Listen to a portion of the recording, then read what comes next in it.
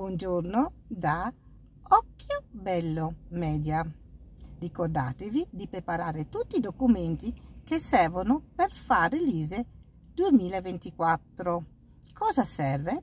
Serve la carta d'identità della persona che fa la richiesta, servono i codici fiscali o la tessera sanitaria dei familiari. Cosa serve altro? Serve l'affitto, serve il 730 se l'avete fatto oppure la certificazione unica riferimento anno 2022 che una volta si chiamava CUD, sempre riferimento 2022. Serve la targa della vostra auto e poi servono altri documenti, la giacenza media dell'anno 2022 e il saldo dell'anno 2022.